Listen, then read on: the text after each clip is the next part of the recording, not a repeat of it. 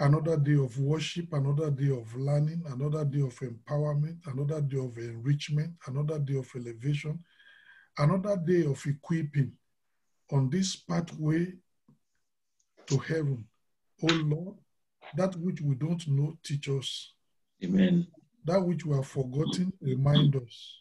Amen. Help us to be doers of your word continually in Jesus' name. Amen. Help us to make ourselves ready when the rapture happens in Jesus' name.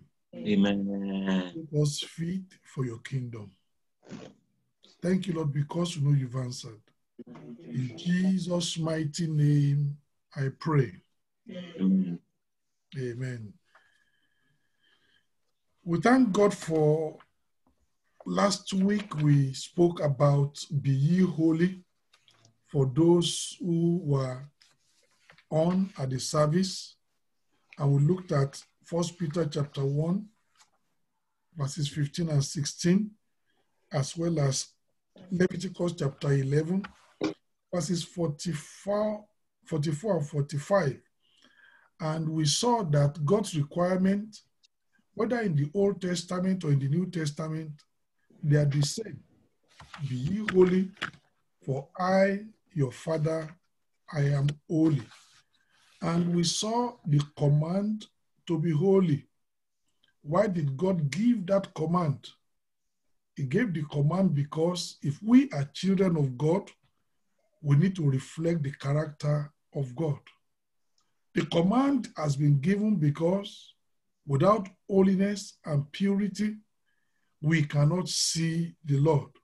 The command was given because we can only relate with God on the basis of holiness. There is no other basis to relate with God.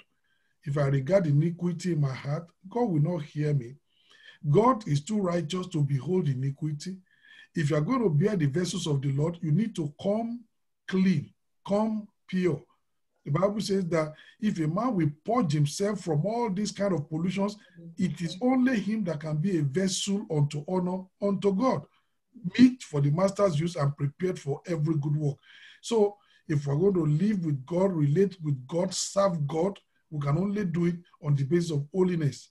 But not only that, you want to receive empowerment from God, deliverance from God, assistance from God. The Bible says, The Lord your God walketh in the midst of you to deliver you and to give up your enemies before you. Therefore shall your camp be holy. That is, sees no unclean thing in that camp, and then it disappears. Joshua told the children of Israel, Sanctify yourselves, for tomorrow the Lord will do wonders amongst you. The sanctification must come before the wonders. Without the sanctification, the wonders, wonders will never arrive. So, those were the four reasons for the command to be holy. And then we saw the criteria for holiness. And I told you that holiness is a second work of grace, subsequent to the first work of grace, which is salvation. Sanctification follows salvation.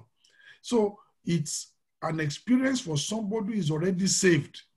If you are not saved, then you need to be saved before you can now say, okay, Lord, I've been saved now. I want to experience I mean, sanctification. Salvation is to deal with outward sin.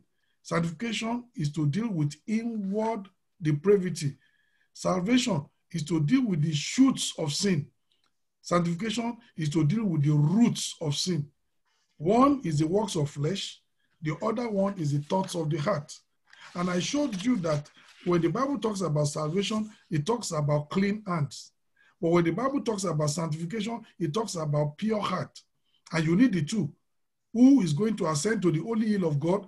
He that has clean hands and a pure heart. Both are essential to be able to eventually get to heaven. And we also saw that, you know, somebody who has been saved, have you gotten rid of every form of worldliness in your life? Because if you, if you have not, sanctification is difficult. If you have not gotten rid of worldliness in your life, where are you going? If you have, if you allow worldliness to eat you up, you will be unfruitful. God cannot count you as a friend.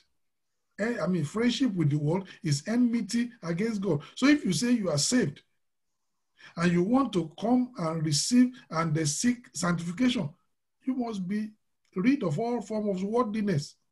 And I told you that worldliness is more than what most people understand it to be. Worldliness can be very subtle. I told you last week, if showmanship increases and sobriety decreases, worldliness has taken over that kind of a life. You want to show off your dress, you want to show off your this, you want to show off that. No more soberness, no more, no, eh, just somebody who, who is very low profile. When haughtiness, like the daughters of Zion, increases, walking and missing with their hands and, uh, you know, I read it to you in Isaiah chapter 3, and you find that humility has decreased. It's an evidence that worldliness has taken over that life. When sensuality increases and spirituality decreases, worldliness has taken over. When carnality is the order of the day, and for Paul and for Apollos, and Paul said, Are you not carnal and walk as ordinary men who have never experienced grace? When feasting increases and fasting decreases, brother, we see you everywhere. That one is doing a naming ceremony. You are the chairman. The other person is doing, you know, uh, songs of service for the funeral of his late father. You are the chairman. And somebody is doing wedding. You are the MC. All the societal functions, you are number one. Feasting all around. But when we say praying and fasting, saying, I don't know, Pastor, you know, this my stomach. Your stomach doesn't mind food, but it man it minds fasting. Worldliness is taking over your life. When feasting increases and fasting decreases, worldliness is taking over. When classiness increases and you can no longer condescend to men of low estate, you look at your education and you look at people around you, say, Well, I'm a graduate. This one didn't even go to school. Paul was a graduate. He studied under Gamaliel. But Peter was an illiterate. Both of them were still apostles. When classiness increases and we can no longer condescend to men of low estate, and, and we feel we're in a class by ourselves, those people we cannot mix. I read it to you in Romans chapter 12. I showed you in James chapter 2. When the Bible says rich man comes, there's a way you treat him. A poor man comes, you treat him another way. And the Bible says, Are you not partial? Did not rich men crucify you? Did they not abuse the name by which you are named? Why are you giving them preference over the poor? Has not God chosen the weak things of this world to confound the wise? You know, when we, we, we think that, you know, we are so educated, we are so rich, we cannot identify with some people, worldliness has taken over your life. As a believer, you don't understand. When self increases and the Savior decreases in your life, worldliness has taken over. John the Baptist said, I must decrease, he must increase. If your own is the reverse, that I is increasing and the Savior is decreasing, worldliness has taken over your life. When fashion increases and faith decreases, God is telling you the way you should dress as a believer. But what the world is going to say matters more to you than what God is going to say. You must, the latest fashion. Maybe before you were born again, people knew you for fashion. Now you are born again. You still want to, to you still want them to know that even though I'm born again, no, I'm still the champion of fashion in this arena. Worldliness has taken over your life. You are not living for Christ. You are not living for Christ. The Bible says in that he died for, for all, that they which live should no longer live unto themselves, but unto him who died for them and rose again. Henceforth, don't live for yourself. Live for the Savior. Don't live for fashion. Live for the Savior.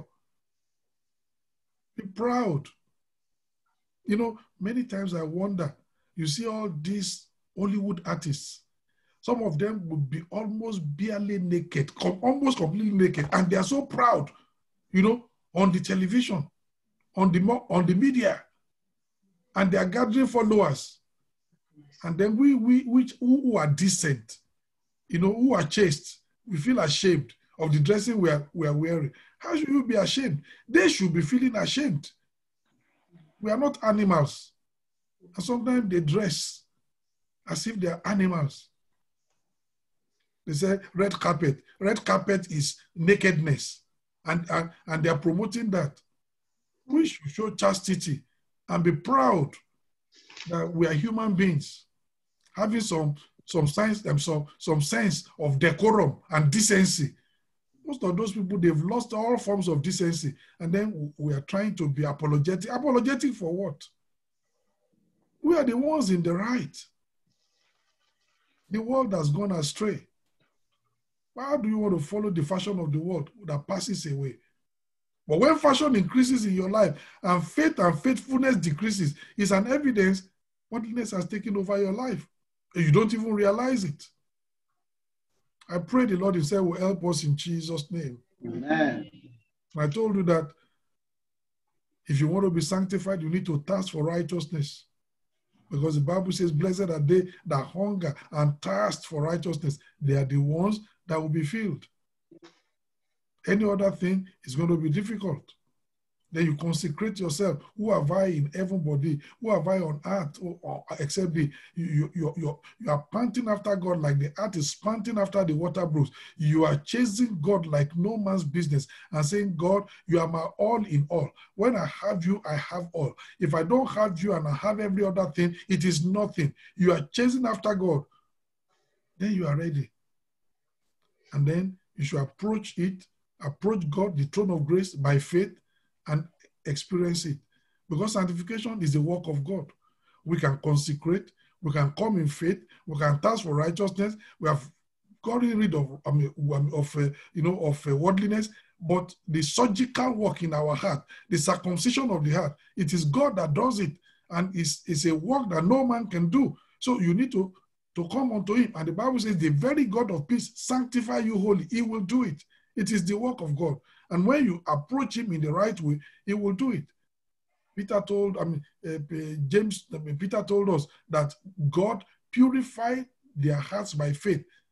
Speaking about the people in the house of Cornelius, that God purified their hearts by faith.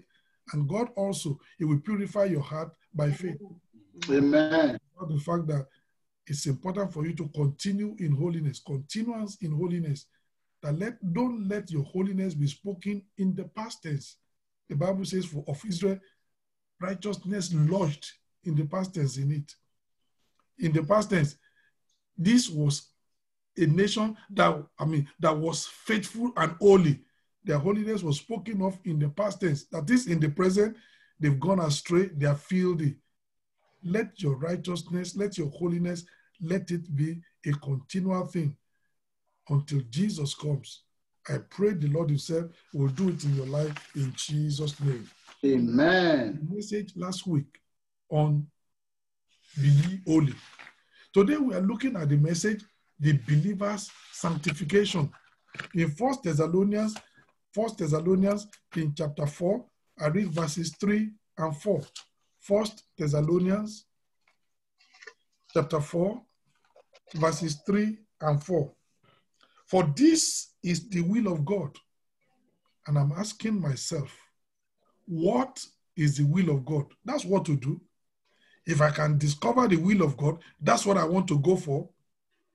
For this is the will of God, even your sanctification, that you should abstain from fornication, that every one of you should know how to possess his vessel in sanctification and honor. Know how to possess your body in sanctification and honor, so as to know how to preserve your soul in sanctification and honor. This is the will of God, even your sanctification. So, as we are talking about the believer sanctification, you should understand that it is the will and the priority of God as I've read to you in that passage. The Christian experience does not terminate at salvation. Salvation is, in fact, the beginning of the Christian experience. Sanctification is subsequent to salvation. It is a logical follow up to salvation in the ladder of Christian experience. Even when we are sanctified, it's not the end. We are climbing the ladder, but you start from somewhere. After salvation, you climb up to sanctification and then onto other experiences. The believer sanctification. And you know, in the Christendom, there are so many. I mean, this past this uh, on I mean sanctification. That's why I'm doing this topic today, a, follow-up topic, because there is a lot of misunderstanding in the kingdom about this sanctification. Many people don't understand it. Some Christian groups that believe sanctification is one thing they believe, not another thing. But you find there are so many, but very many times, what is happening is that some hold on to a little bit of, of one and a little bit of the other, but it is the totality. And I want to show you all the totality in the scriptures and show you the ultimate. Because, number one, sanctification can come through devouring scriptures. You know, show me somebody who is always reading and studying the Bible. I will show you somebody who will experience, you know, some sort of separation unto God, some sort of sanctification, some sort of, you know, more closeness to God. It, it is normal. If you read the Bible a lot, if you study the Bible a lot every time, as we read and study the scriptures, there is a measure of sanctification from the word, not from the world. That says world. That else should be out in the outline. From the word that we experience as we obey the injunction of the scriptures. Look at what Jesus Christ said in John chapter 17, verse 17. John chapter 17, verse 17. The Bible says, Sanctify them through thy truth. Thy word is truth. Christ is saying here, sanctification can come through the truth. Sanctification can come through the word. It is through which we understand even sanctification itself. But even by itself, there is a power in the world that sanctifies in some measure. We need to understand that. As we dip in the word constantly and consistently, we get cleaner, even when we do not retain the totality of what we have read. Can you look up? You know, we do this one when I was young. Sometimes we go to the to the farm, and there is a basket. We have used it to carry, you know, cocoa. When they they crack cocoa and and then the pods of the cocoa, and then you carry it and you go and throw it on the you know where it's going to dry. Many things, some of that you know thing uh, out of the cocoa pot is going to stick to the basket very many times. By the time you finish the day, the basket is a little bit dirty with those things. And you can't, you, you can't, you, you can't remove it. It's difficult. So what do we do? We go to the river. We want to clean the basket. We go to the river. And what do we do? You take the basket, you put it in the water, you raise it up. You put it in the water, you raise it up. Every time you put the basket in the river and you take it out, that basket does not retain water at all. But by the time you do that for about 10, 15 times, the basket is cleaner. All those things that have attached to the basket from the cocoa, as you put the basket in the water and you remove it, you understand? They Yes, remove it. And the basket will be cleaner. By the time you have done that eh, eh, many times, and that's a technique we use in the in the farm. The same way, as you dip in the water, as you dip in the word and you come out, you dip in the word and you come out, you dip in the word and you come out.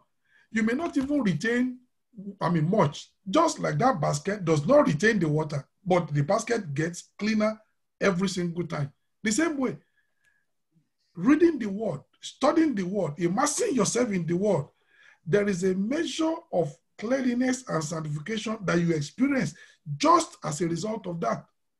And Christ said, sanctify them through the truth. thy word is truth. So just like a dirty basket immersed and withdrawn from water a hundred times will get cleaner, although it does not retain much water. You know, some brethren will say, Well, Pastor, even what I'm reading, I, I don't remember. Don't worry, you'll be getting cleaner, Amen. you'll be getting holier, Amen. you'll be getting closer to God. Amen. It doesn't matter that you don't retain all the things you are reading. Just read it. Just read it. Just understand it. Just keep on reading. Just keep on studying. There's a measure of impact upon your life that you don't understand. Just like that basket does not retain water, but it's going to get cleaner anyway at, at the end of the day. As you immerse it inside that water, as you immerse yourself in the word, there is a measure also that you're going to be. It doesn't seem so, but it is so. And we need to understand that. John chapter 15. Let, us read. John chapter 15. I read from verse 3. Now, ye are clean. How? Through the word. Through the word which I have spoken unto you. Abide in me, and I in you. As the branch cannot bear fruit of itself, except it abide in the vine, no more can ye, except ye abide in me. I am the vine, ye are the branches. He that abideth in me, and I in him, the same bringeth forth much fruit, for without me ye can do nothing. But I want you to see that Christ said, You are clean through the word which I have spoken unto you. As you dip into that word, and Christ is speaking into you, unto you, there is a measure of cleanliness that you're going to be experiencing. The word sanctifies. Ephesians chapter 5. Ephesians chapter 5. I read verse 26.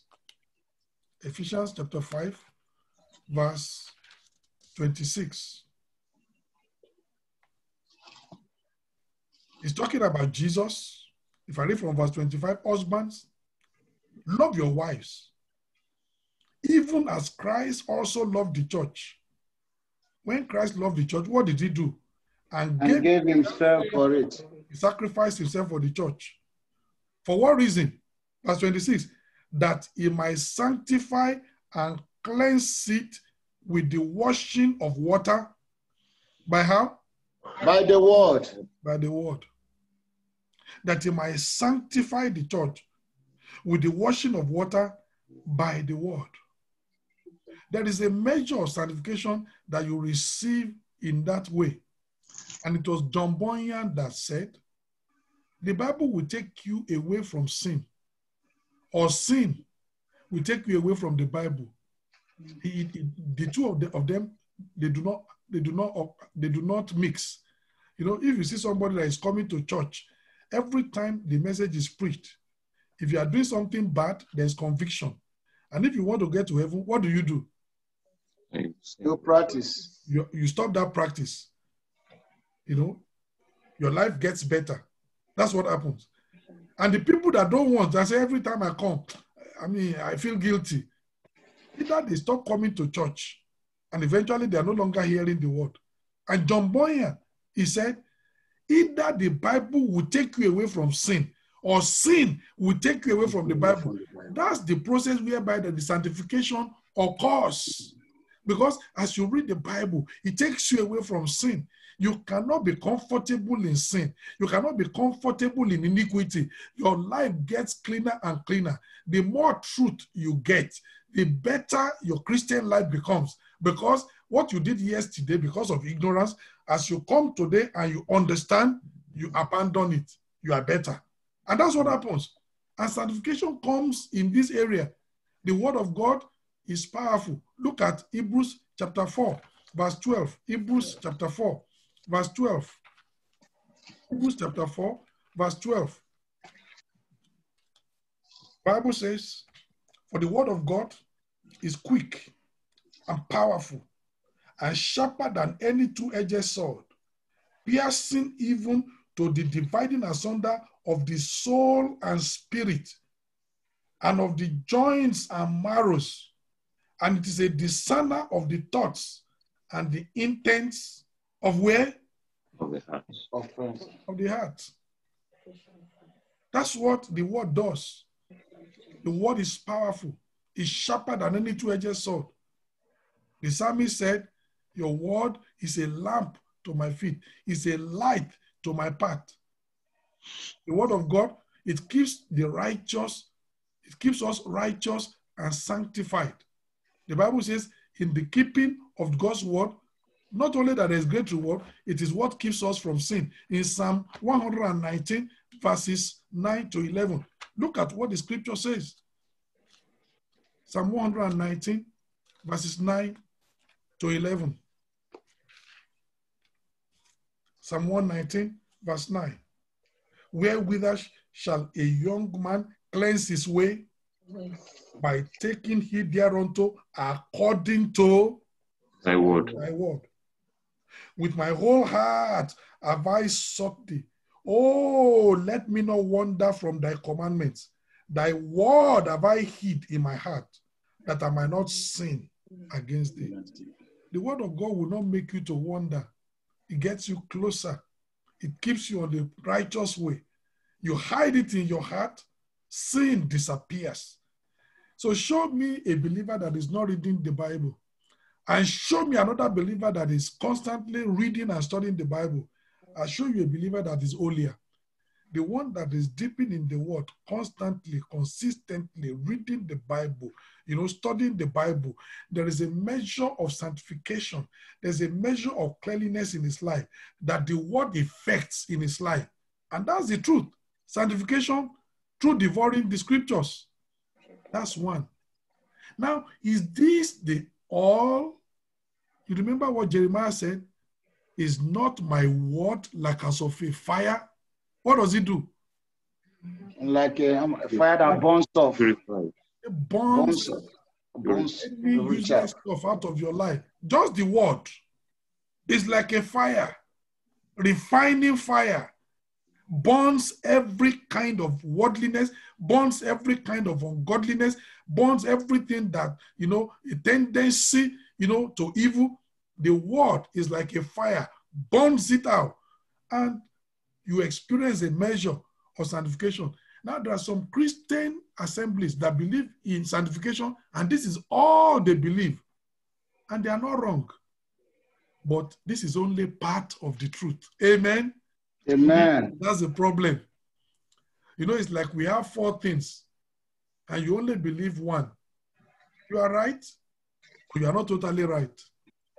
Somebody met one day some three blind men. And the three blind men, they took the three blind men to somewhere. Each one was meant to feel something different. And then afterwards, they were meant to describe what they felt. And then A said, I'm the one that is right. B said, I'm the one that is right. C said, I'm the one that is right. And they began to fight. And they said, okay, A, what did you feel? A said, what I felt is like is it, looks like a trumpet, something that you can blow. I can't, I didn't see it, oh, but that's what I felt. All right. The other one said, what I felt is like a, a, a thick rope, very, very thick. He said, all right.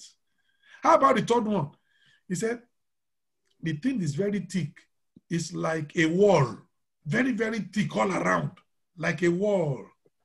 Do you know what has happened? All of them were right, but none of them was totally right. They took the three of them to an elephant. One was meant to feel, you know, the tusk of the elephant, and he described what is what he felt, which is like a trumpet. Is that not so? Listen. The other one was meant to touch the tail of the elephant. And he said, What I felt, oh, this is like a thick rope. Is it not correct? Yes, sir. It's correct. The other one was meant to touch the body of the elephant. And he said, it is very thick, like a wall. Is it not correct? Correct, sir. Now, which one of them is correct? Totally correct. None of them, sir. And they were fighting. That's the problem many times in the church.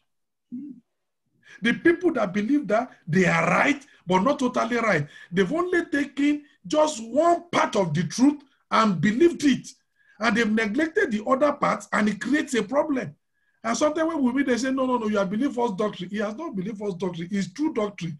Only that is only part he has believed, which is not right. So, what I've talked about now, there are some Christian assemblies, that's all they believe about sanctification. That if you read the Bible, if you read it very well, if you study day and night, you will be sanctified. And they're right. Sanctification comes through devouring scriptures, but it's only part of the story. Amen. Amen. So you are beginning to understand the total impact of it. And it's important that any truth of scriptures, you must understand every bit of it. Don't just take one bit and run away. You will be lopsided. You will be, it is the truth, but it's not the total truth. It is the total truth that can make you free. Half truth do- does you no good. Hmm. Amen. So Amen. sanctification through devouring scriptures I've shown you, and it is. Christ said, You are clean through the words I've spoken unto you. The word of God is fire, it can refine you. I've shown you in the scriptures that you know Christ said he will sanctify and cleanse the church by the wash with the washing of water by the word. Sanctification through the word, through devouring scriptures that comes. But let's look at the second point: sanctification through deliberate separation. That's another way. Sanctification is a word that is used in the Bible in, in the sense of setting something apart for a holy use. When you take, let's say, a cup, and then you say, from today, this cup is going to be used in the service of God alone. Nobody must ever use it to drink water. Nobody must ever use it to do any other thing. This cup is used, going to be used for the service of God alone. You have sanctified that cup. You have set it apart for an holy use. And the Bible talks about sanctification in that context also in the Bible. Joshua chapter 3, verse 5. So we're talking about sanctification through deliberate separation. Joshua chapter 3, verse 5. Joshua chapter 3, verse 5. Joshua told the children of Israel, and Joshua said unto the people, Sanctify yourselves, for tomorrow the Lord will do wonders among you. You cannot sanctify your heart the way God will sanctify it, but you can sanctify yourself in the way God expects you to sanctify yourself. This is talking about set yourself apart. Remove yourself from every form of filthiness and uncleanness. Fornication is unclean. Let it not be once named among saints, among you as become a saint. Separate yourself from that kind of defiling influence. That's sanctification. Sanctification through deliberate separation. That's also sanctification. You are setting yourself apart for a holy use. You are setting yourself apart from God when we separate ourselves from every defining, defiling influence and we set our, ourselves apart unto God, it is a form of sanctification. Let me show you that is First Samuel chapter 21. Many people never see this, but let me show you. First Samuel, please open with me. Open with me so that you understand the usage of the word and what the Bible is saying. First Samuel chapter 21 in verse 23. Now, this was when David was running away, when Saul wanted to kill him. And then he had some men with him, and they were hungry. And then they came to the priests. And in verse 3, now therefore, what is under thine hand? Give me five loaves of bread in my hand. Or what there is present. David said, Priest, high priest, we are hungry. We don't want to die. Do you have bread? Give us. Or what else do you have that we can eat? Give it unto us. See the reply of the priest in verse 4. And the priest answered David and said, There is no common bread under my hand, but there is hallowed bread. What he's saying is that the bread you buy from the factory or from the bakery and you eat, I don't have that kind of bread. The bread I have here is bread that has been consecrated for holy use. Hallowed bread, holy bread. It was baked like other bread, but now it has been consecrated for divine use. And only holy people can eat that bread. I don't have common bread. I only have hallowed bread. Then he said, if the young men have kept themselves at least from women. Did you hear that? Yes, sir. He said, this holy bread, because it has been consecrated, is no longer common bread. Mm. Only people are the only ones that can eat it. If you can assure me that these ones have sanctified themselves, they've kept themselves away, they've kept themselves from immorality, they've kept themselves from fornication, they've kept themselves from women, then I can give you the holy bread to eat. Do you understand the, the story? Yes, yes sir. Look at what David said. And David answered the priest and said unto him, Of a truth, women have been kept from us about these three days. So he's even saying that even those of us who are married, we have not come across our wives for the last three days. We have, you know, we have stayed, you know, away from sex, even married sex. Say for these three days, our vessel have been, you know, holy. Even those of us who are married, we've not even touched our wives. You understand? In verse, mm. in verse uh, 5, and David answered the priest and said unto him, Of a truth, women have been kept from us about these three days since I came out, and the vessels of the young men are holy. Holy. Holy in that God has sanctified them? No. Holy in the sense that they are separated, the deliberate separation. So David said, in these three days, even those of us who are even married, I mean, we're not talking about immorality here now. A married person, that's legal. Say, but even those of us who are married, for these three days, remember that the, the people of David, many of them were married. You remember in, in 1 Samuel chapter 30 in Ziklag, when their children, their, you know, their children, their wives have been carried away. They were married men. But David is saying that even in these three days, we have been separate. We have separated ourselves. We are holy. And then he said, the vessels of the young men are holy, and the bread is in a manner common. So it was sanctified this day in the vessel. So he said, We are just like the priests, we are holy. So if you give us the holy bread, you will not be sinning. Do, does it help you to understand what I'm talking about? Yes, sir. These men have been separated from women. They've had no sex.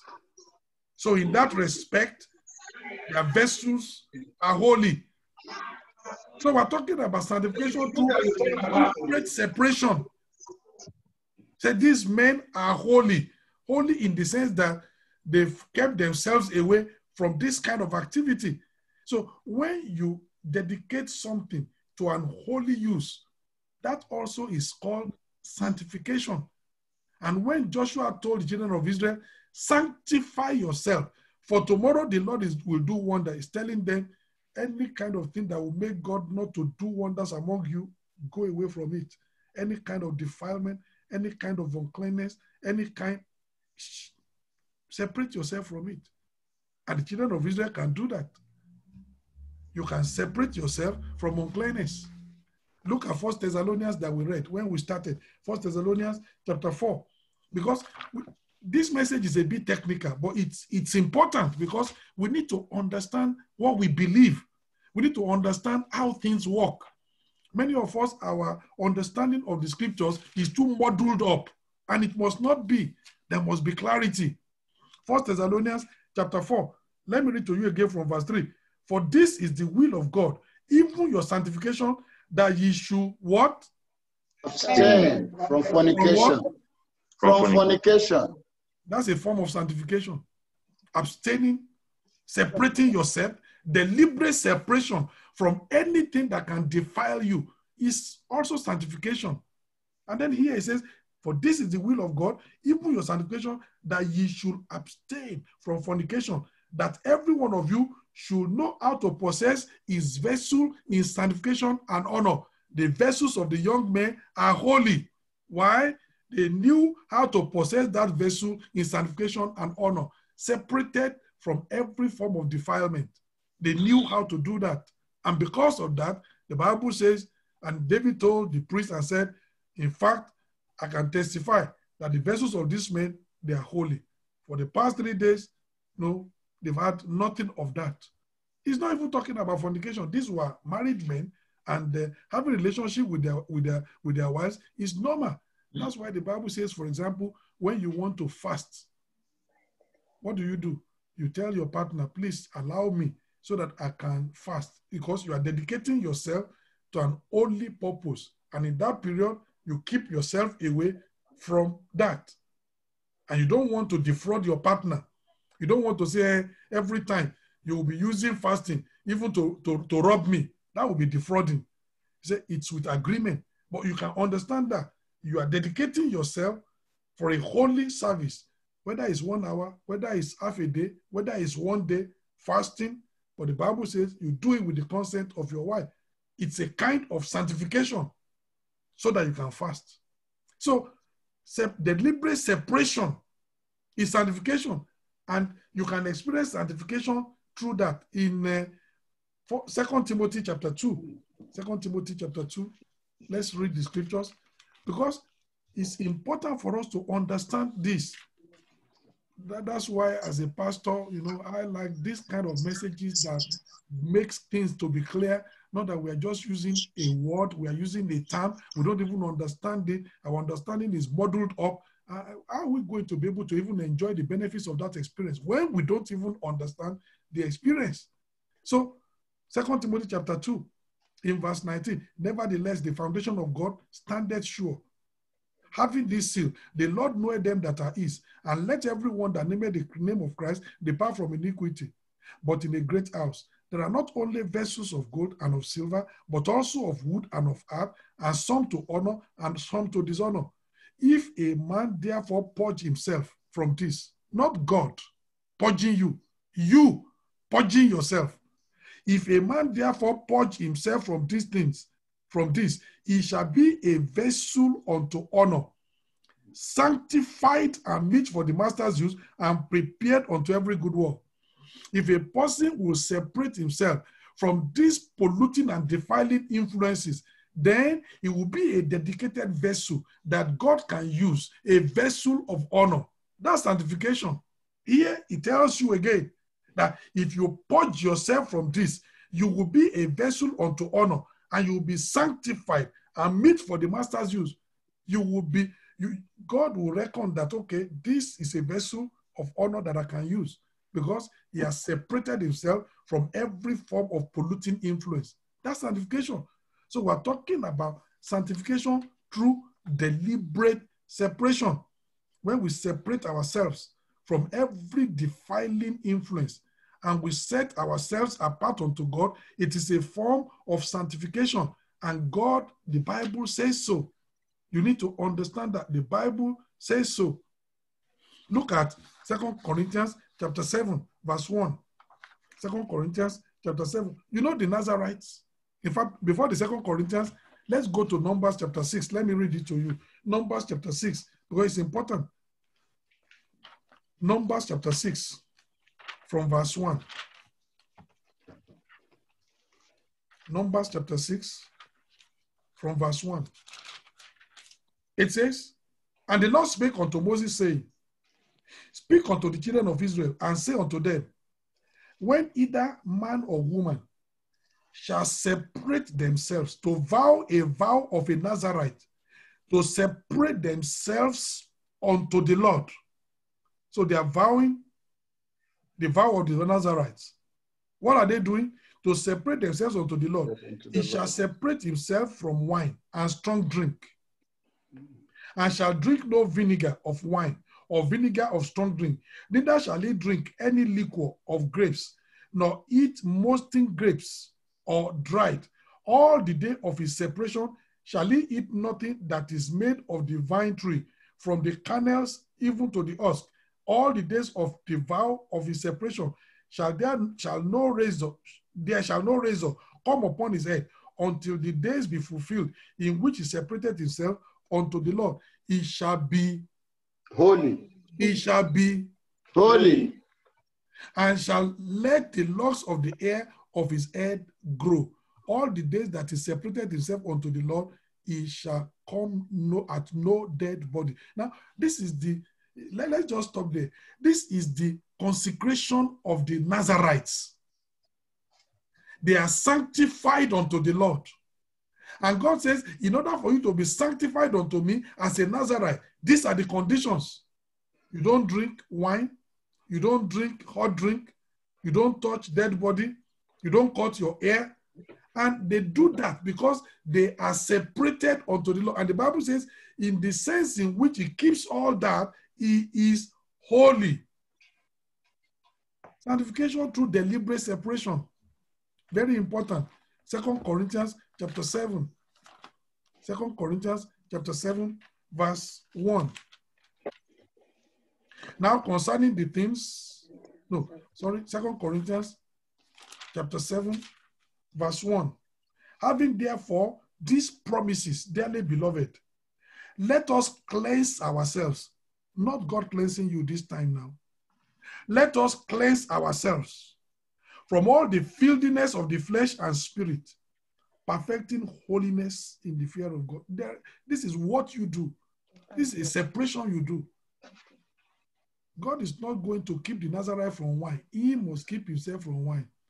He must keep himself from strong drink. That was part of the problem of Samson. Samson was a Nazarite. Read it in Judges chapter 13. Then he killed a lion. The lion was now dead. Then bees formed something inside the lion. And one time, Samson was going and he went to go and eat honey from you know, the, the honey that the bees have created inside the dead lion. That's violating his calling. That's part of the beginning of the problem of Samson. He's forgotten he was a Nazarite. Other people could have done that and it doesn't matter. But you are a Nazarite. From the womb, you know that you shouldn't do that. That lion is dead. You shouldn't touch it. Amen. Amen. So, separation, sanctification through deliberate separation, that's another. And you know, again, like I said the other time, there's some group of Christians, that's what they believe sanctification to be. And you find that a lot of the, you know, holiness of the Puritan fathers was like this. They were very strict. They were very, you know, people that they don't come across sin or defilement, very strict when it comes to Christian life. You won't see them, you know, in any questionable activity.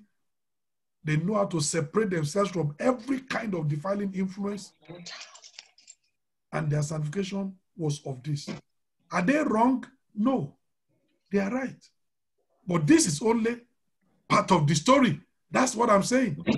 Some people believe sanctification through divine scriptures, and it is right. And that's the only thing they believe. It's half the story. Some people believe sanctification through deliberate separation. Are they wrong? No, they are right, but it's only part of the story. It's not total, total of the story. Show me a believer that is very careful. Show me a believer that deliberately separates himself from every form of defiling influence and is um, devouring the scriptures. You will see a believer that is very going to be very close to God. Amen. Amen. Amen. Combine number one and combine with number two in your life. We have not come to the ultimate. oh. In fact, already you have left many believers, I mean, apart. In fact, when people look at your life, they say this brother is an angel. He's not an angel yet. Mhm. He's not even near to. But already implementing number one, number two, he has gone very far. It's part of the story. I pray the Lord Himself will help us in Jesus' name. Amen. Number three, there are some people also sanctification through devotional, devotional strategies. Oh, what do I mean? We experience a measure of sanctification as let me ask you this question. If you have ever fasted,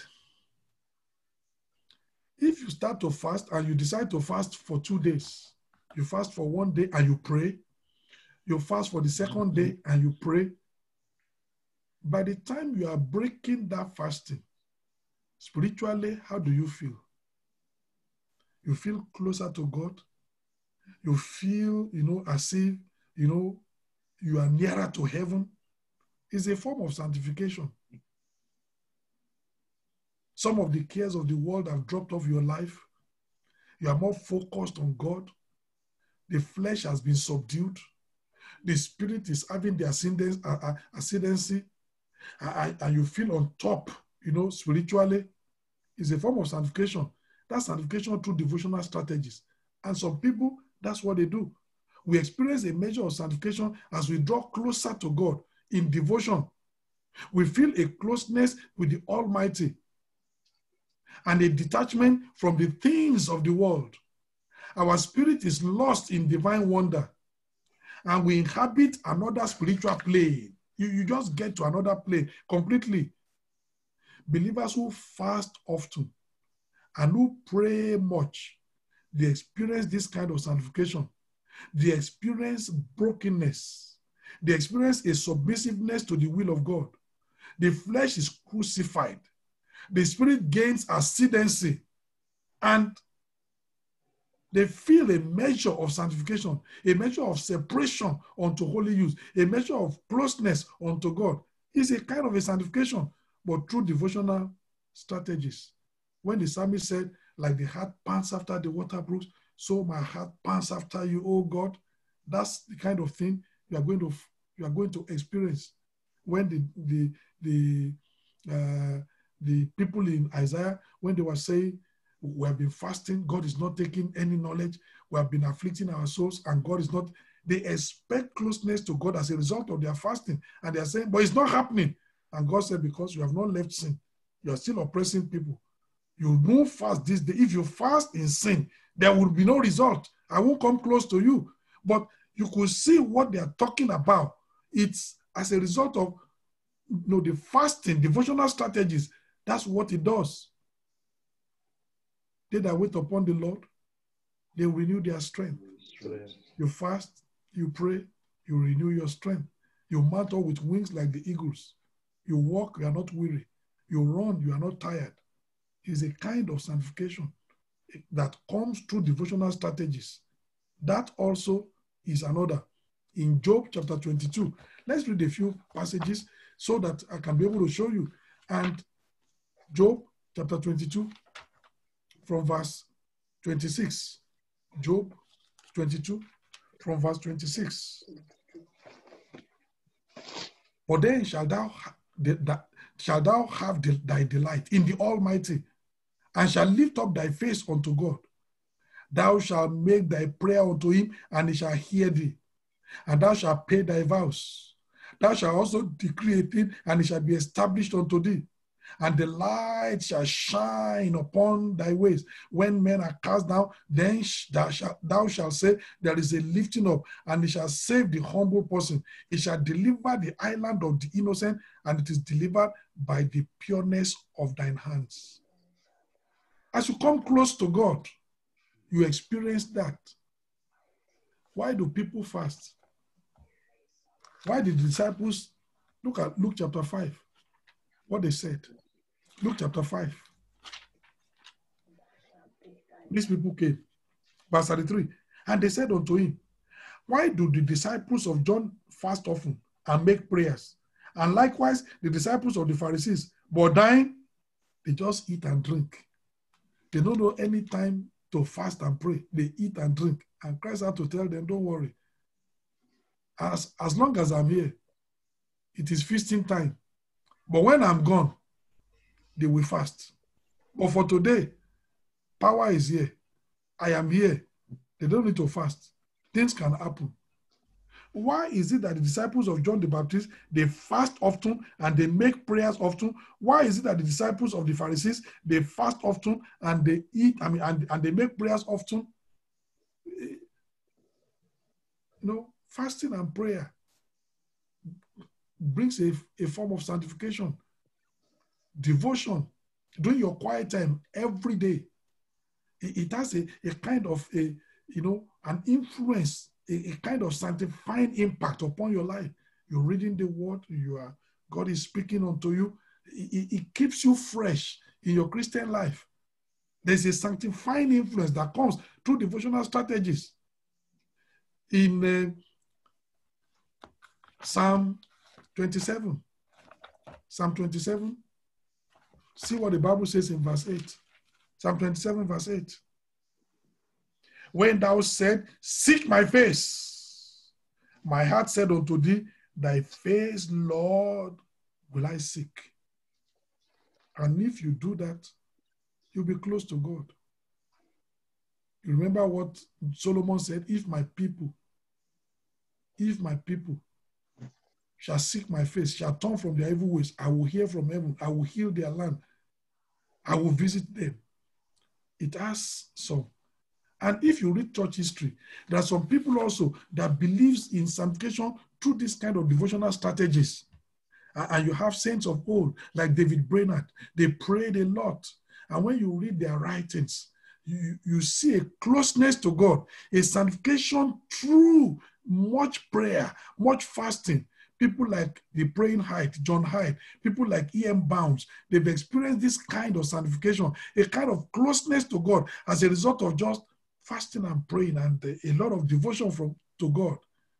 Now take a believer that puts number one, does that, adds it to number two, and adds it to number three, hmm. already has gone far.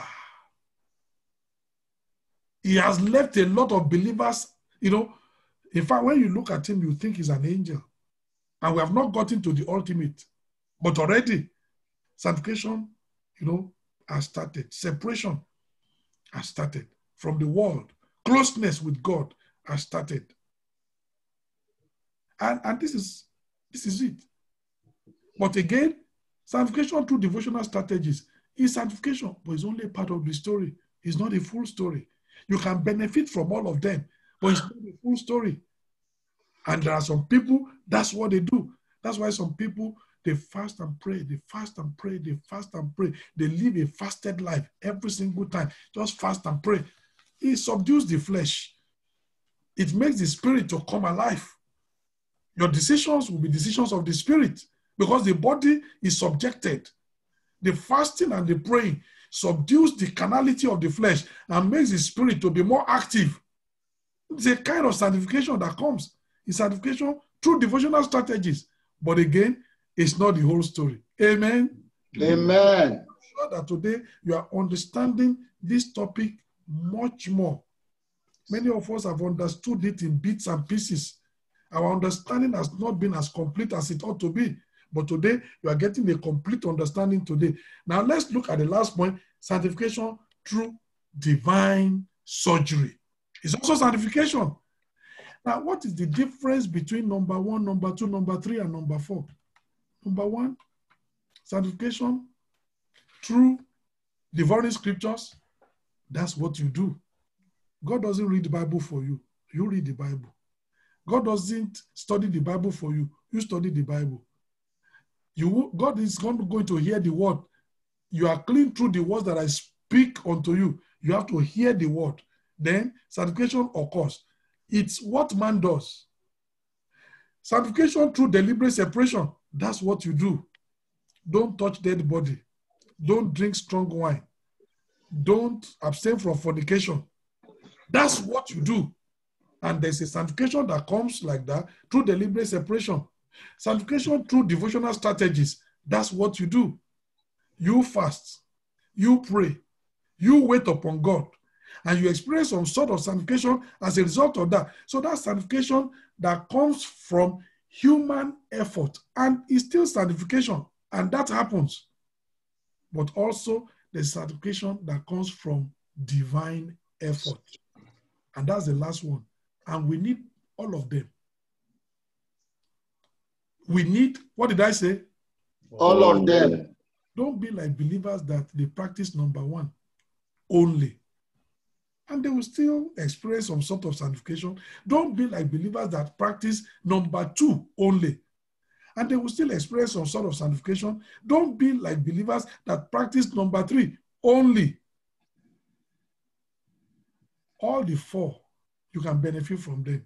And the fourth one is sanctification through divine surgery. Experience sanctification through deliberate separation, through devouring scriptures, through devotional strategies are good, but they, these origin, originate from man.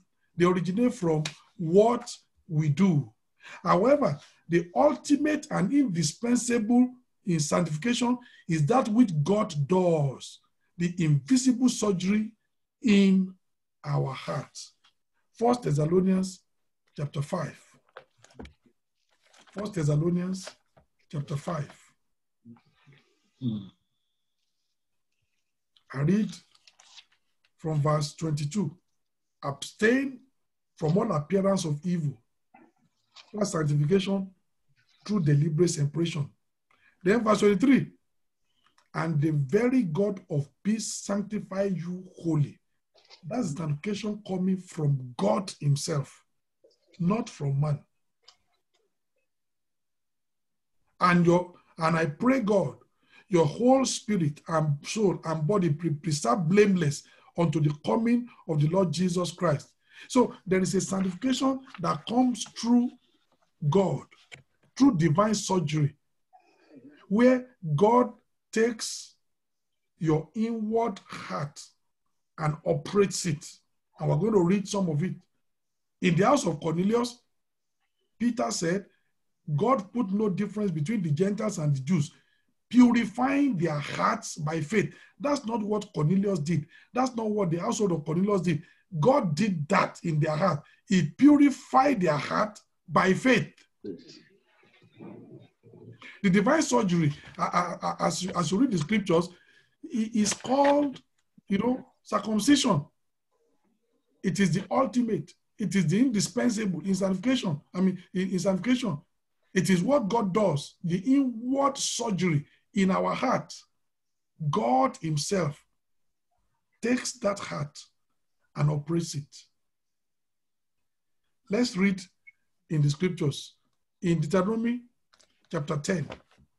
Deuteronomy chapter 10. I want you to, to read Deuteronomy chapter 10.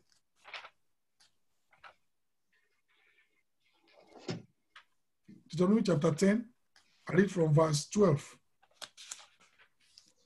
It says, And now, Israel, what doth the Lord thy God require of thee, but to fear the Lord thy God, to walk in all his ways, and to love him, and to serve the Lord thy God with all thy heart and with all thy soul, to keep the commandments of the Lord and his statutes, which I command thee this day for thy good.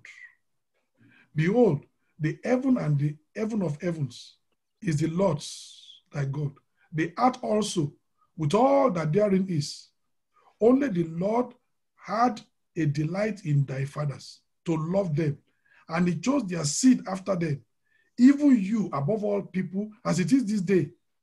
Circumcise therefore the foreskin of your heart and be no more stiff necked. How do you circumcise the foreskin of your heart? You see?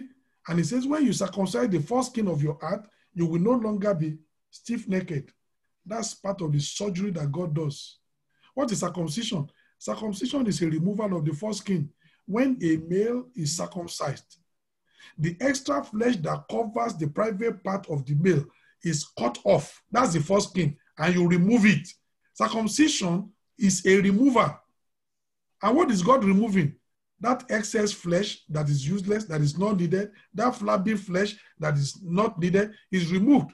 Here also, when somebody's heart is stiff necked, God says that is not necessary in that place. God does a surgery on the heart and removes that stiff neckedness. That's circumcision. Look at Deuteronomy chapter 30, verse 6. Deuteronomy chapter 30, verse 6.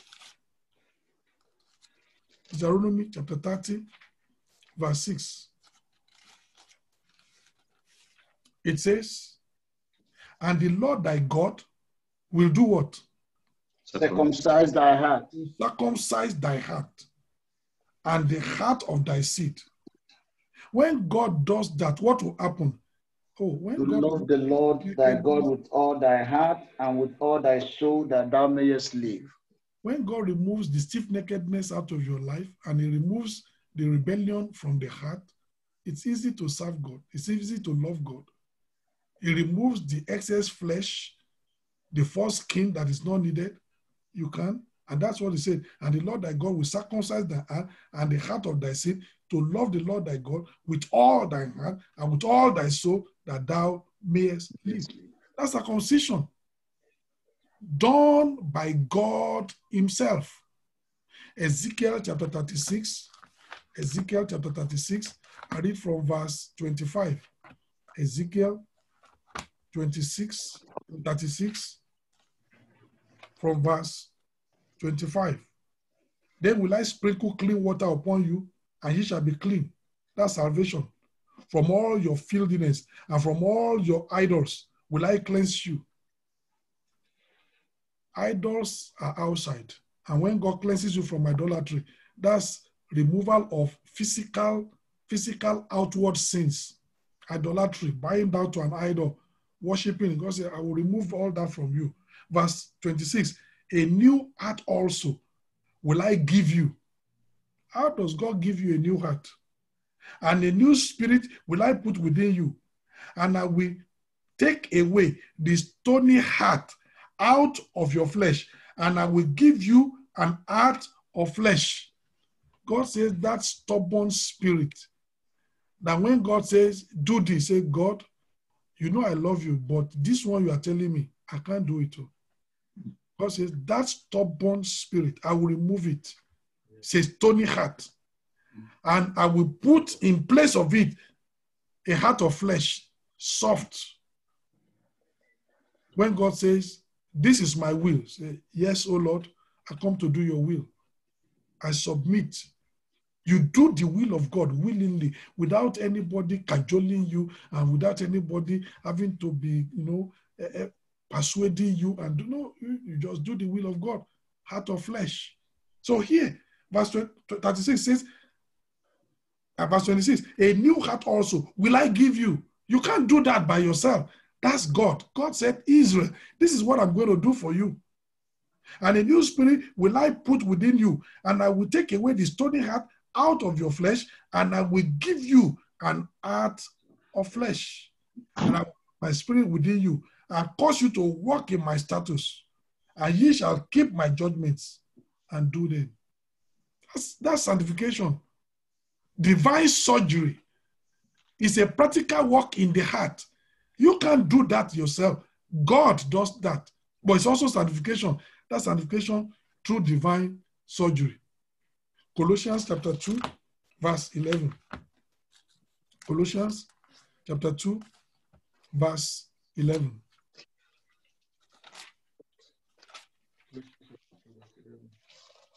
It says, In whom also ye are circumcised with the circumcision made how?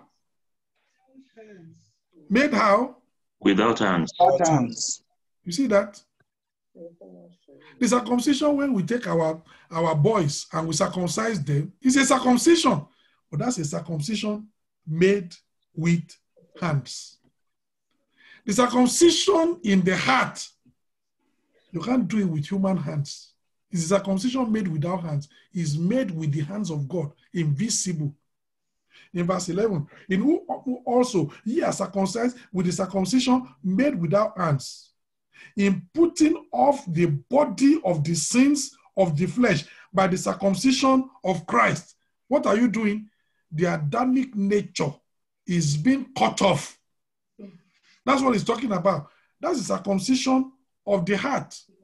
And only God can do that. Romans chapter 2.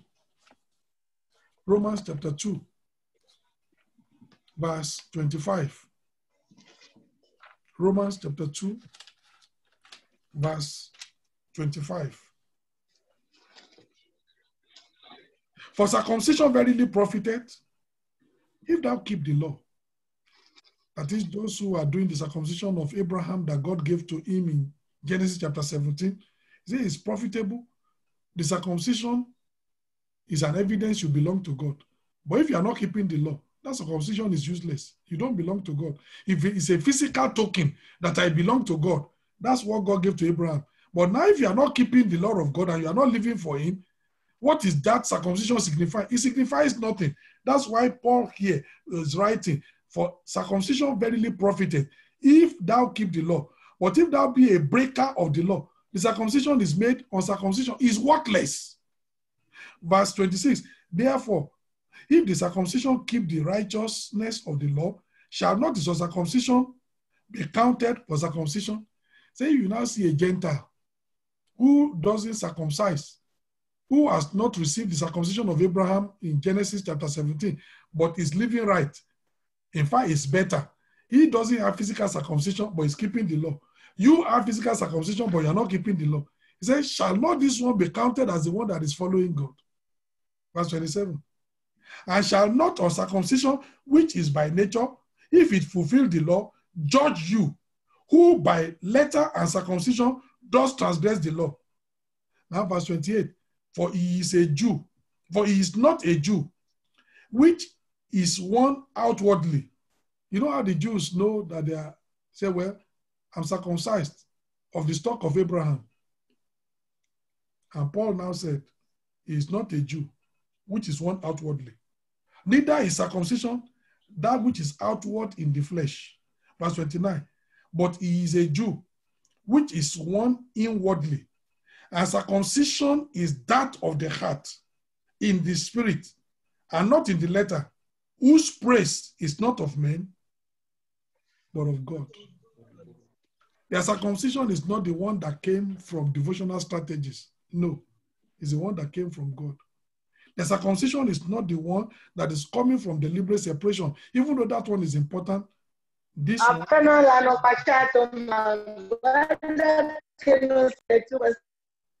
and that's important. The sanctification that comes from God, sanctification through divine surgery. So, in this church, by the grace of God, we must understand all the four and we must profit from all the four. It is not take number four and leave the other three. All of them are important, all of them are in the scriptures, and all of them are part. There is a kind of sanctification that you do that God doesn't do for you. When Joshua told the children of Israel, sanctify yourselves, he's not talking about the sanctification that is, is you. There is a responsibility. Separate yourself from every defiling influence. God said, The Lord that God worketh in the midst of you. Therefore shall your camp be holy, that he sees no unclean thing in you. Separate from every evil, so that he can do wonders among you. That's important. That's a separation. That's what they have to do. So there's a sanctification that comes from the human side, and it's still sanctification, but it's not sufficient. Then there's the ultimate sanctification that comes from God as a result of hunger after that sanctification after heart circumcision, hunger that I want to be pure like God. You are hungry after righteousness and you consecrate yourself and then you move by faith and believe God. Then God sanctifies your heart by faith. He performs that circumcision of the heart. He performs that spiritual surgery in your heart. He takes away the stiff neckedness and the rebellious heart. He takes away that subtle kind of, you know, a, a kind of reaction against God's commandment. It takes away from your heart. The pastor doesn't see it, but God sees it. Let me give you an example. There's a particular boy, very stubborn, very rebellious. And then the father also, like a disciplinarian, the father will beat him like, of course, we should not be beating our children. That's child abuse. That's, you know, that's not there's a way to correct children the, the nice way. But I'm just talking about this is a story. And because the boy does not want the beating many times. So when the father says, You know me, you know what I can do. I tell you, sit down there. The boy will sit down, but inside him, he say, But I'm standing up. Do you understand me? he will sit down physically so that the father sees. But inside him, he will be telling the father, But I'm standing up. The father wouldn't see that. That's rebellion. And many times in the life of the believer, that's what is that actually is what happens. You are doing that thing hmm. physically, but your spirit resents it. Say, but if I don't do it now, they will say I'm backsliding. they will say, What kind of Christian I am? So you do it, but not willingly from your heart. You pay your tithe, but you're saying if it's not because brethren will talk, even this one, I could have used it to buy turkey for my family. Right? Mm-hmm. It's an evidence of an unsanctified heart. And it's only God that can that sees that one and can remove it. That's what we are talking about. Correct action, or wrong motive, wrong reaction in the heart. Man doesn't see that. Man will praise you for the correct action, but God says, I reject that action because the motive is wrong. And it's only God that can see that. And that's what sanctification through divine surgery does. It cleanses and removes, cut off that stiff nakedness, cuts off that reaction, cuts off all those things that rebel against God in a subtle way, cuts off all those things. You are able to serve God from the deep within your heart without any reservation. The action you are doing and the way you feel in your heart, they are just equal. Not that you are doing something so that brethren will not say that you are backsliding. But inside your heart, if you were left by yourself, you would have wanted to do something else. What kind of action is that? It's, it shows if you are saved, you are not sanctified. That's what it shows.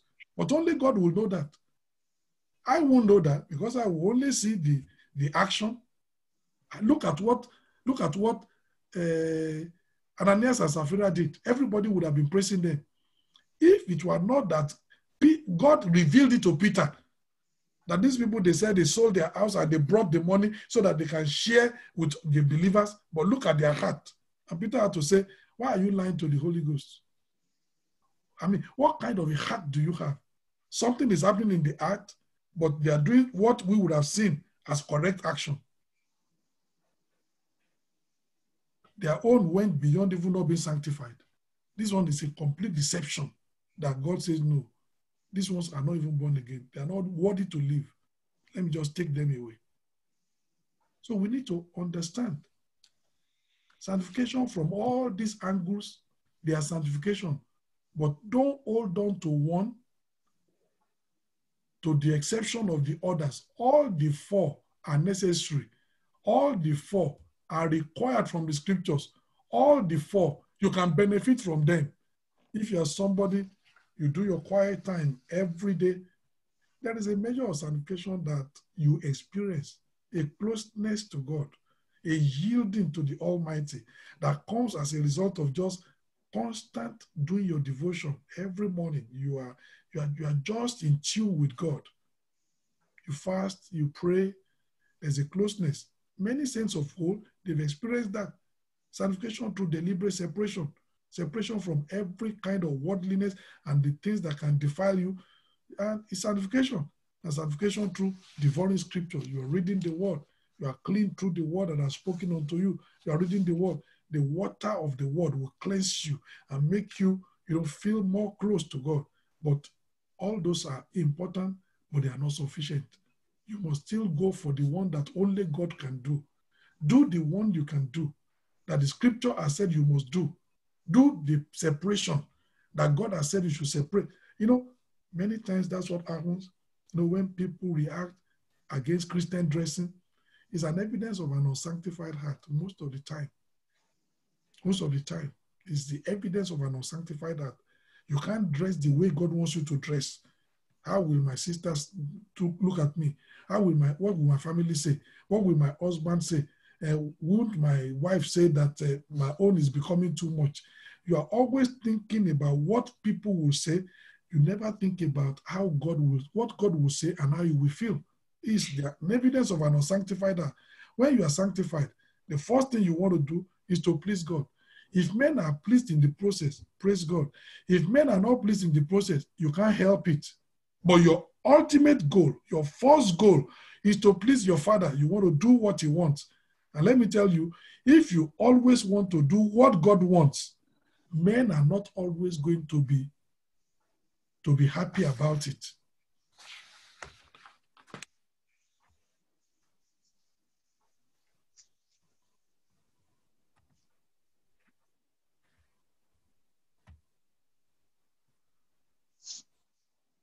Amen. Amen. You are hearing me? Yes. Yes, sir. Okay. I don't know what has happened to the something, but don't worry. So even if men don't like you, and many times they're not going to like you because the Bible says that the carnal mind is enmity with God. Most men are carnal. So when God tells you to do things, they are not going to like it because it's contrary to their carnal nature. So, but when you are sanctified, the first thing is you just want to please God. If men are pleased in the process, praise God. If they are not, that's their business. That's their thing. A sanctified believer finds it easy to do that. And I, I know that today you want to be like that. You want to pray and say, God, I have not gotten to this level, but I need to get to this level. This mm. is what the Bible talks about the believer sanctification. Where are you, my sister, in this thing we are talking about? Where are you, my brother, in this thing that we are talking about? God is calling you today and He wants to help you.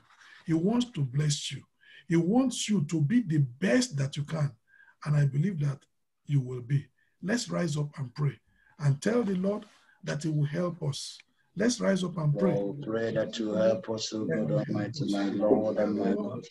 Help us. Great and mighty God, we come to you today, Lord, that you will help us, Almighty Father. To help us. Help us, O God Almighty. You're a great and mighty God.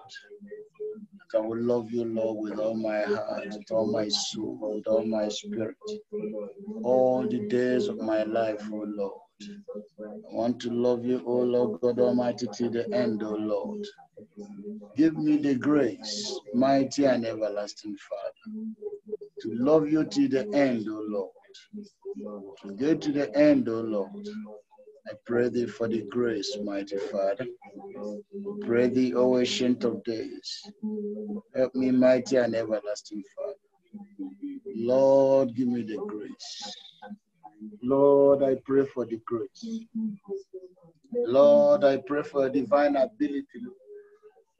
Well, Lord, Let the Lord help you, my brother. My Let the Lord Lord help you, my my sister. I come to you, Lord God Almighty, for a total circumcision, O Lord, of my heart. O Lord, my soul, my spirit. Lord God Almighty, to live for you all the days of my life, to walk with you, Lord. Let's pray that God will help us experience sanctification from this, from all Lord, I totally surrender all to Embrace you. all. I totally surrender all. I totally lay all on the altar, to the ultimate Pray, Lord, that you will help me. through divine surgery, Totally for you. where God removes the stony Totally for you, Lord. and puts a heart of flesh, where God removes the stiff neckedness, live only for you, Lord. the submissiveness Only for you. Lord God Almighty, I want to talk live. to you, this is what I want to do, God daughter, Almighty. and you do it without any kind of uh, power, Lord, the any kind of reservation. grant unto me, Lord Jesus, by your will, Lord, by your way, by your word I've had today. Oh, precious Father, I separate myself unto you all the days of my life, O Lord. I separate myself unto you. Consecrate, Lord, that you will use me, Lord, as a vessel unto you. consecrate yourself unto the Separate myself unto and you. come by faith today. Jesus, Lord, God I perform that. separate myself unto you only, Let God perform I that separate myself unto you. Let God use me, that Lord, for your glory. Lord, your glory. Only for your glory. Only for your will. your heart and put in Oh, my Lord. Only for you, Lord. Only for you, Lord. Only for you, Lord. with all your soul, with oh. all your mind, Only for you, with all your strength. Only for you, Lord. Love Him as My Lord. alone. I pray, mighty Father, I want to live only for you, only for your will, only for your grace, only for you, Lord, all the days of my life. I want to, precious Lord, I want to live only for you. In Oh, Jesus' for mighty name, we pray. Lord, I pray for the grace. Amen. Amen. Brethren, when you get, I mean, when we finish, you still need to consider, look through the outline, you know, hear the message, go through the scriptures. You still need to pray more until God brings you to the ultimate that He sanctifies your heart through that divine surgery. He removes the stony heart out, of your heart. You've heard a lot how to dress like a believer, but because of not being sanctified, you've not been able to do it. Every time your heart rebels against it, you have heard about tithing, that this is the duty of the believer. But every time you argue about it, it's an evidence of an unsanctified heart. Maybe there is a way you relate with your wife. We have told you that if you're a real believer, you can't beat your wife. You can't speak to your wife anyhow and be just bullying that woman and abusing that woman. You say, eh, that, that's the way we do it in our family. Well, that's not the way it is done in God's family. Even if you are born again, it means that you are unsanctified. You are not ready to submit to how God says you should treat your wife as a weaker vessel. Treat them with understanding, treat them with love, treat them with consideration. Carry her precious, carry her as heirs of the grace of life with you. Look after this woman. My brother, it's an evidence you are not sanctified. And you need to, to go to God and say, God, the way I treat my wife is an evidence that I'm not even sanctified. So that God can help you. You can be tender, you can be loving, you can be considerate, you can you can treat her exactly the way God wants. I pray that today God will help you to get to that experience in Jesus' name. Amen. Father, we just thank you for today's service. We thank you for how you have expounded your word unto us so that we are not lopsided. Many people understand only part and bits and pieces of the sanctification experience, but you are open to us the totality of the experience so that we are not ignorant anymore, so that the devil will not be able to take advantage of us. We can be able to enter into the fullness of the blessing that God has in store for us. Oh Lord, I'm praying that as many as are consecrating their heart, as many as they are drawing nigh to you, as many as are thirsty and they are hungry after righteousness, today they will be filled in Jesus' name. As they come by faith to appropriate this experience of sanctification that comes from God, I pray that that divine surgery, it will happen in their heart. When husband is sanctified and wife is sanctified, there will be peace in the home. They can talk to themselves like reasonable believers. They can talk from love. They can talk out of compassion. There will not be all this rowdiness and shouting on one another. It will be gone because the character of Christ is fully born in their life. Oh Lord, I'm praying that even for the sake of you know living in the family, help every one of us to seek this experience in Jesus' name. Amen. So that your love and your peace can reign in our families in Jesus' name. Amen. All this kind of Amen. obey you fully because the heart has reservation, because the heart is still sick, still has a, a, a measure of stiff neckedness, because the heart is still uh, to some extent stony.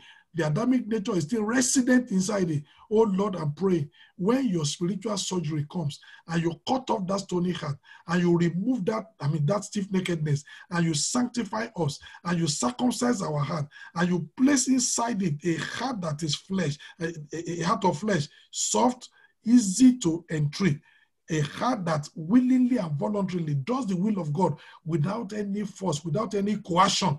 Oh Lord, I'm praying that that kind of heart do the spiritual surgery in every heart of your children in Jesus' name. Amen. When we when we are sanctified, we see we see it in the church. The church will be peaceful. The church will be serene. The church will be loving. Every one of us will look after one another without any reservation. Oh Lord, I pray, let this your church experience this sanctification and this circumcision of heart in Jesus' name. Amen. Let us be satisfied until we'll experience it in Jesus' name. Amen. Because we know you've answered, let your name be glorified. In Jesus' mighty name, I pray. Amen. Amen.